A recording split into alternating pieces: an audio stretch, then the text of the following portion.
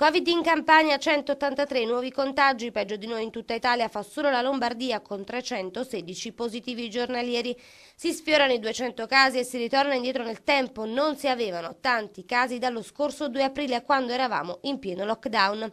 Anche questa volta più della metà dei tamponi positivi vengono fuori dagli screening sui viaggiatori, 81 sono casi di rientro, 36 dalla Sardegna e 45 da paesi esteri. Ieri sono stati effettuati 5.400 192 tamponi, aumentano i pazienti in terapia intensiva da 3 a 5 e diventano 121 i pazienti ricoverati. Gli attualmente positivi in Campania sono 1596 persone, fortunatamente, come già detto, per la quasi totalità si tratta di pazienti asintomatici l'età media è scesa fino a 29 anni. I casi in aumento sono soprattutto il risultato di una strategia vincente di controllo e monitoraggio che consente di contenere i contagi asintomatici asintomatici che avrebbero diffuso il virus se non avessimo fatto i tamponi al rientro. A dirlo è Alessandro Perrella, infettivologo del Cardarelli e componente dell'unità di crisi della regione Campania. Questa fase ha continuato e conseguenza dei viaggi all'estero dei giovani più refrattari alle precauzioni, dei ritrovi, delle feste e della mondanità che sono veicolo di contagio. Una dottoressa irpina è rientrata al lavoro all'ospedale Moscati dopo qualche giorno trascorso al nord Italia. Ha ripreso servizio nel reparto di cardiologia per tre giorni prima di sottoporsi, come di consueto, ad un controllo preventivo ed è risultata positiva al coronavirus. Il protocollo di sicurezza dell'ospedale avelinese prevede controlli puntuali per chi trascorre 15 giorni di ferie o fa viaggi in zone a rischio o all'estero. La professionista risiede nel comune di Monteforte, è asintomatica ed ora si trova in isolamento con gli altri componenti del suo nucleo familiare, ma c'è preoccupazione alla città ospedaliera dove immediatamente è stato chiuso il reparto di cardiologia alle visite esterne. E tutto il personale di pazienti che sono stati in contatto con la dottoressa sono stati immediatamente sottoposti ai test veloci, risultati tutti negativi. Effettuati anche i tamponi, stamane gli esiti per i pazienti tutti negativi, nel pomeriggio si conosceranno quelli sul personale. Intanto la ASL di Avellino ha ricostruito la filiera dei contatti esterni alla struttura avuti dalla professionista. La dottoressa positiva però non è l'unico caso al Moscati, è stato ricoverato stamane un trentenne della Costa d'Avorio positivo al coronavirus trasferito dall'ospedale di Pozzuoli con tutte le precauzioni del caso, ora si trova ricoverato nel reparto di malattie infettive. Ma a preoccupare è un caso di sospetto Covid, si tratta di un sessantenne avelinese che attende il risultato del tampone ricoverato al pronto soccorso del Moscati dopo essere risultato già positivo a quello rapido. A darne notizie il sito di informazione Il Ciriaco che spiega come l'uomo dipendente dell'ente di Palazzo Caracciolo ha febbre e tosse e avrebbe contratto il virus ad una festa alla quale ha partecipato due giorni fa in una nota struttura ricettiva della provincia di Avellino. In provincia non è scattato ancora nessun protocollo, si attende prima la certezza del contagio, l'esito del tampone atteso in serata o al massimo domani mattina. È proprio vero, il coronavirus non fa differenze nelle scelte. Colpisce chiunque, ricchi, poveri, borghesi, persone che abitano in piccoli paesini e quelle che vivono nelle grandi città. Siamo proprio tutti sulla stessa barca. I focolai possono verificarsi nei centri più popolosi, ma anche in uno dei comuni con meno abitanti, come per esempio Caselle in Pittari, provincia di Salerno, neanche 2000 anime totali, ben 12 soggetti positivi, con tutti i familiari di questi posti in quarantena e contatti da accertare. Si sono contagiati a quanto pare in un ristorante che è stato già chiuso precauzionalmente nella giornata di ieri. Ecco le parole del sindaco di Caselle in Pittari, Giampiero Nuzzo. Tutti i positivi sono in buone condizioni di salute, questa è una buona notizia. Ovviamente sono stati posti in quarantena obbligatoria insieme a tutti i loro familiari e stiamo lavorando da ore per ricostruire la catena dei contatti. Immaginiamo in questo modo di circoscrivere il focolaio di infezione. Io ritengo che il lavoro che stiamo svolgendo già da ieri praticamente e soprattutto da oggi pomeriggio, da quando abbiamo avuto la certezza degli 11 positivi, il lavoro che stiamo facendo, ripeto, soprattutto da oggi pomeriggio, ma anche che faremo prossime, nelle prossime ore, nei prossimi giorni, porterà a questo risultato, cioè a circoscrivere il focolare di infezione. Per questo motivo io vi invito alla calma, vi invito ad evitare allarmismi, vi invito ad evitare psicosi e soprattutto vi invito a continuare ad usare dispositivi di protezione, quindi mascherine, distanziamento sociale, ad avere tutti quei comportamenti. Ma i casi di coronavirus aumentano in tutta la provincia. Sei nuovi positivi a Mercato San Severino riguarderebbero componenti tutti della stessa famiglia riunitasi per il pranzo di Ferragosto, riconducibile a una persona risultata positiva poi il 22 agosto scorso. Sono tutte asintomatiche. Andranno però verificati i contatti tenuti prima che venissero posti in isolamento domiciliare. Ancora quattro casi a Salerno città, tre a Nocera Inferiore, uno a Baronissi, due a Battipaglia, un altro caso a Cava dei Tirreni. Il sindaco di Vietri sul Mare ha confermato un caso anche nella cittadina costiera. Chiuso, per ragioni di sicurezza, il poliambulatorio dell'ASL Salerno 2 ad Eboli, visto che sono risultati positivi due dipendenti. Eboli, dove la situazione è monitorata minuto dopo minuto, specie in considerazione dei 24 soggetti positivi nell'azienda agricola che hanno riguardato anche soggetti di altre cittadine vicine come Bellizzi. Si sarebbero contagiati tutti dopo il rientro dalla Francia di un bracciante. Intanto ad Angri, dove restano otto i positivi accertati, è giunta ieri sera la notizia che i tamponi effettuati su giocatori e staff dell'Angri Calcio sono risultati negativi. I test si erano resi necessari dopo che un tesserato era stato contagiato. Tutti i sindaci del territorio continuano intanto a lanciare appelli ai cittadini, a quelli di rientro dalle vacanze, di segnalare il loro ritorno, specie se dall'estero. E poi, più in generale, l'altro appello riguarda ovviamente quello di evitare assembramenti, di lavarsi spesso le mani, di mantenere la distanza di un metro e, soprattutto, di utilizzare la mascherina al chiuso e all'aperto.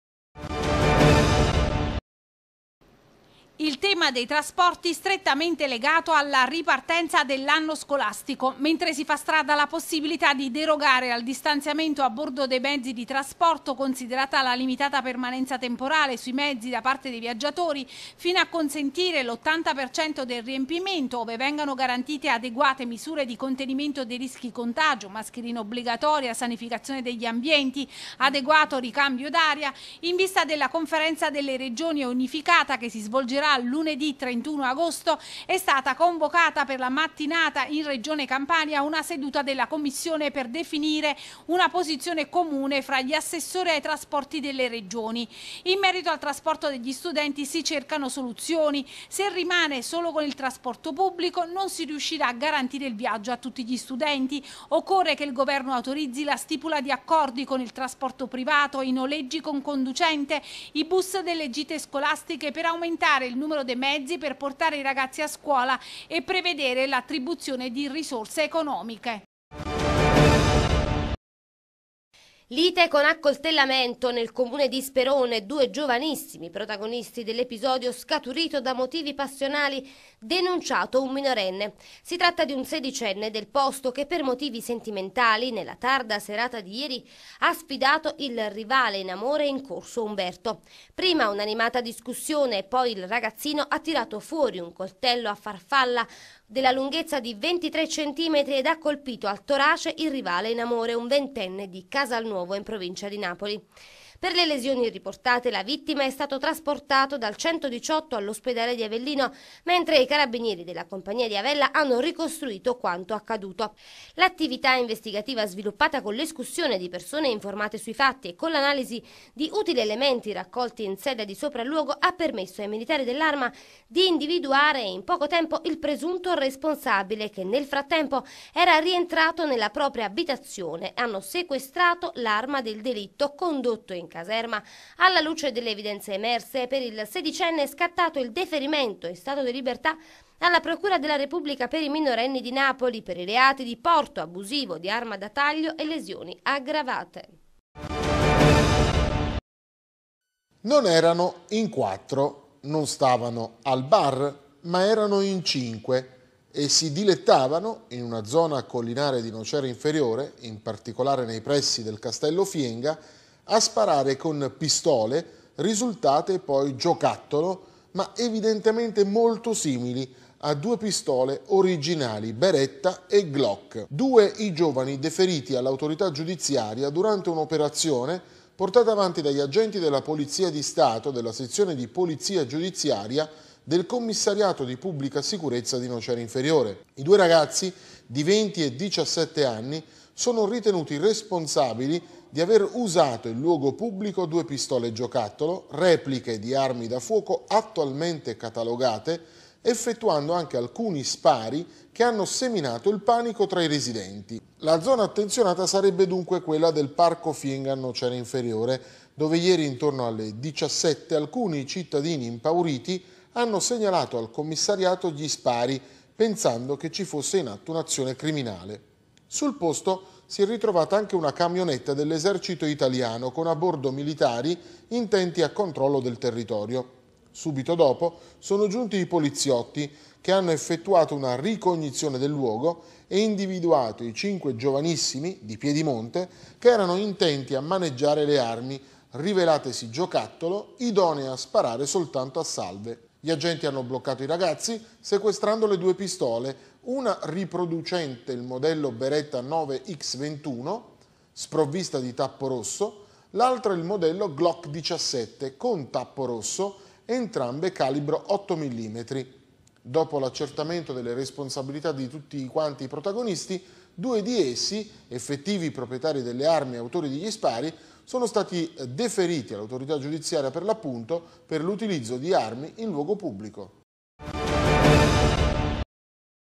21 nella smorfia napoletana rappresenta la figura di una donna nuda e il Napoli ha giocato proprio a carte scoperte i suoi primissimi minuti della nuova stagione agonistica.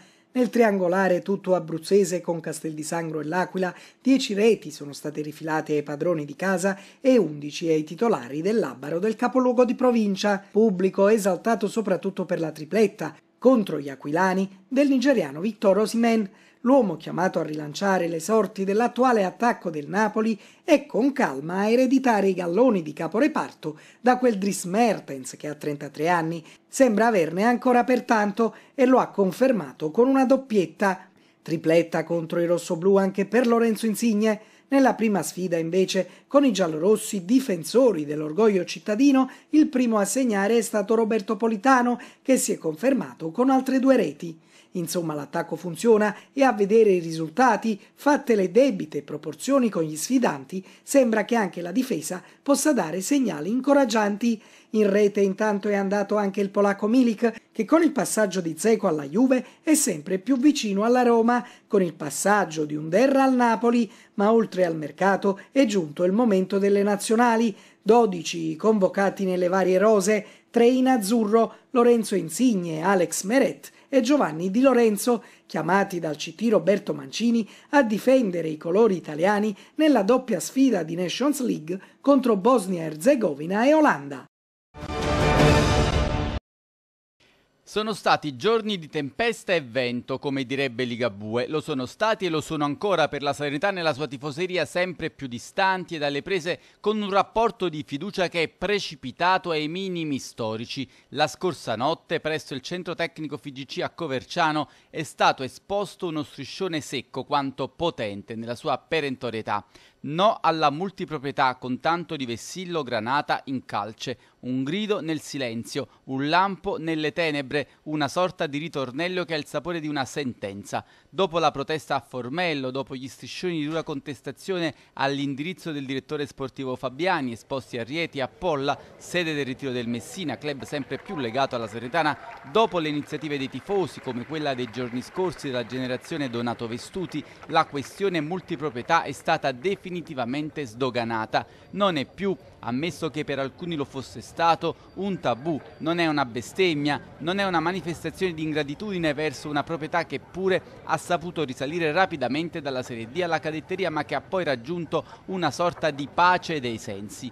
È un moto d'orgoglio, uno scatto di dignità, la rivendicazione della libertà di sognare e di competere alla pari con gli altri senza dover sempre restare nel limbo, un passo indietro, sempre un metro, visto che siamo nell'epoca del distanziamento sociale, distanti dal traguardo. La proprietà tace, la dirigenza resta nell'ombra, ma la voglia di uscire dall'anonimato e di sottrarsi al gioco della multiproprietà sta dilagando. I patron hanno fatto il massimo di ciò che il regolamento consentisse loro perché se è vero che la promozione in Serie A non è vietata, è quantomeno complicata dalla situazione imbarazzante che si creerebbe e che costringerebbe lo Tito ad uscire di scena repentinamente, lasciando la Serenità in mani chissà quanto sicure, senza poter avere neanche il tempo per valutare la situazione in tutti i suoi aspetti. Sarebbe una cessione fatta in fretta e furia, quando l'agire di questa proprietà è stato sempre caratterizzato da una sorta di lentezza di base. La multiproprietà priva la tifoseria granata della spensieratezza che dovrebbe essere una componente essenziale dell'animo del tifoso che va allo stadio con la speranza di veder vincere la propria squadra e che non può e non deve essere appesantito da altre considerazioni.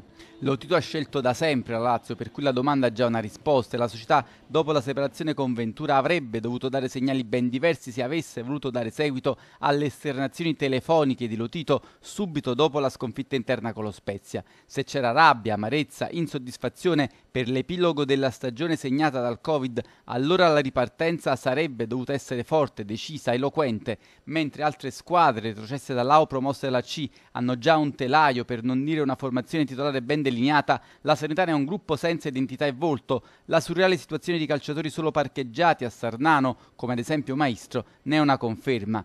Che senso ha per Castori avere in ritiro un calciatore della Lazio e non un calciatore di proprietà come HPAC Pro che invece da giorni a Formello, pur non essendo stato ancora ufficializzato il suo passaggio alla Lazio? Per forma almeno sarebbe stato più giusto che l'ex Tolosa fosse a Sarnano e Maestro a Formello in attesa di notizie certe sul proprio futuro. C'è una sorta di approssimazione ma anche di distacco da parte della proprietà in questo inizio di stagione che non sono casuali come aver affidato ad una società sterza l'organizzazione della gara amichevole con la Fermana, per assistere alla quale i tifosi Granata dovranno pagare 15 euro. Un prezzo fuori mercato per tanti motivi, quasi un invito a non varcare i cancelli dell'impianto che ospiterà la gara per non avere scomode intrusioni, occhi indiscreti, testimoni scomodi di una realtà che al momento sconforta e preoccupa perché la storia è senza attaccanti e più in generale quasi senza squadra e sta portando avanti prove tattiche con un gruppo quasi fantasma, tanto è vero che Pestrini è tornato a vestire i panni del calciatore per fare numero. Insomma, la partenza di questa stagione è a dir poco falsa, piena di incognite e caratterizzata da un sentimento di malcontento ed insofferenza della tifoseria verso la proprietà e la dirigenza che restano in silenzio, ben consapevoli di aver toccato il fondo in quanto a popolarità e gradimento, ma ancora e sempre ostinatamente e beffardamente attaccate al timone di una nave che è ormai in mezzo alla tempesta, su cui soffia un vento che questa volta sì pare davvero essere cambiato. Centrocampo si sono concentrate lì le attenzioni dei dirigenti delle squadre che seguiamo da vicino. Il tran tran delle voci circolava già da giorni, poi è arrivata l'ufficialità in casa paganese. Daniel Onescu è il centrocampista che il presidente Trapani attendeva già da qualche anno. Lo voleva fortemente per il suo progetto, poi non si era concretizzata una trattativa che pareva ben avviata già tante volte. Stavolta il pressing della Paganese ha funzionato. Onescu si è convinto ad accettare l'avance del club azzurro stellato, un'altra regione del sud per il rumeno 27enne che è stato già in Puglia con Andre Bisceglie e in Calabria col Catanzaro. Quindi il passaggio in Campania adesso fermo restando l'esperienza a Verona con la Virtus e in Toscana col Grosseto. Onescu, dopo essersi sottoposto ai controlli legati al protocollo anti-Covid, potrà aggregarsi al resto del gruppo di Mister Erra. Stamane intanto effettuate le visite mediche al centro cardiologico De Martino. Altra squadra nostrana, la Cavese, altro rumeno. Si tratta del promettente Mihail Onija, centrocampista centrale di proprietà del Torino, che il direttore Pavone è riuscito a strappare alla guerrita concorrenza con un contratto di prestito per un anno nato 20 anni fa a Timisoara, città che ha una folta rappresentanza nel calcio italiano, si pensi a Marin, Benzar, Dragomir, Lex Codrea ed altri. È arrivato in Italia nel 2016 Onija per merito della Virtus Entella, poi il passaggio al Torino dove è stato sempre tra i migliori con la squadra primavera. I Granata gli hanno fatto anche assaggiare un po' di Serie A Quest'estate era d'obbligo il passaggio a un club di B, si parlava con insistenza del Pescara, ma la Cavese ha avuto la meglio. Non è rumeno, ma ha giocato a Bisceglie per qualche mese insieme ad Unescu, il centrocampista ingaggiato dalla Nocerina. Si tratta di Andrea Bottalico, che nella seconda parte della scorsa stagione ha rinforzato invece il Noe Cattaro, oggi ridiventato Noia Calcio, e che vanta anche un'esperienza a Malta con l'Amrun Spartans, dove si sono intravisti altri giocatori italiani. Classe 98, Bottalico è cresciuto con Latina, poi Andre Bisceglie in Serie C. Si tratta di un giocatore dalla buonissima tecnica individuale che dovrebbe essere uno dei perni principali nel progetto sportivo dei rossoneri di mister Cavallaro.